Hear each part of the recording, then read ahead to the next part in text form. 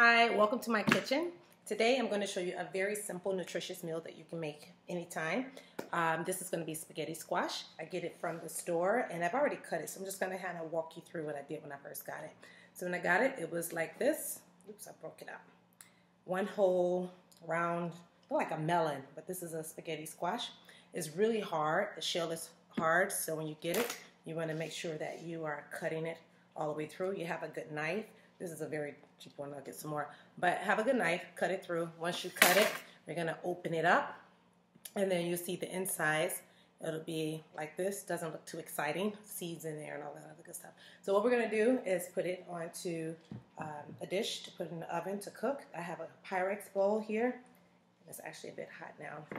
So I'll put it on there, lay it flat, and let you see. So you see I just have it laying flat. And I'll put this in the oven. I'll put it on about 425 and I'll let it bake for about 35, 40 minutes, but I'll watch it until the inside of it get really soft and then I can take the fork and string it. So this is your spaghetti squash. Give it a try if you haven't done it already. And you can top it up with some uh, pasta sauce or whatever sauce that you want to add on top of it. But treat it as if you would treat your regular pasta noodles. Okay? So have fun with your spaghetti squash and let me hear about it. I'd love to find out how you used it. Okay, thank Hello, you. Hello, welcome back. Okay, so the spaghetti squash is done. I'm going to take it out. It's actually already out the oven, so I'm going to bring it over here and show you how to shred it up really quickly. Okay, so we have it here on the table, and it's really, really hot, so I'm just going to flip this over.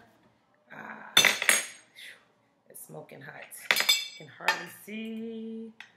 I have to turn it so you can be able to see. Here's one that cooked. You can see how it cooked. I gotta go quickly. I know everybody doesn't have much time. Okay, so you see that it's cooked through all the way. And what I'm gonna do is just string it. So I'll take the seed part out, as much of the seeds out as possible. Uh, just dump it over here. It's okay, I'll have to clean it up later.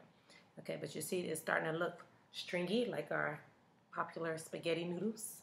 okay, so what, what we'll do is um, continue to get this part out, the seeds. If you want to use the seeds, I'm sure there's a recipe where you can use the seeds. Oh, and speaking of recipe, I noticed on the label that I got it from, they actually give you some tips of some different recipes. So when you peel it off, make sure you read it and find out other ways that you can be able to uh, do this, okay?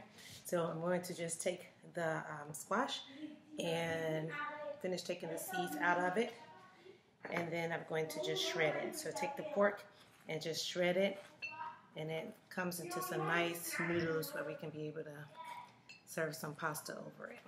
Okay, so this is an example with our nice noodles.